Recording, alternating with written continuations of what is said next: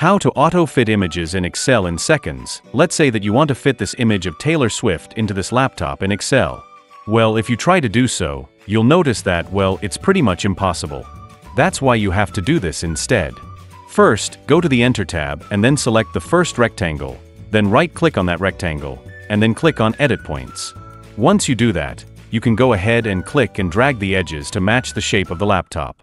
And once you're done, go ahead and right-click on it, and then click on Format Shape.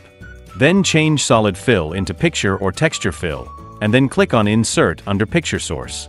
And then you can insert the image of Taylor Swift or whatever you want. Click on Insert, and then that'll automatically insert that image and auto-fit it into the shape for you. Allricht. Tazit. If you want to improve your Excel skills, you need my 26th Need to Know Excel Shortcuts cheat sheet. Just comment Excel and I'll DM it to you.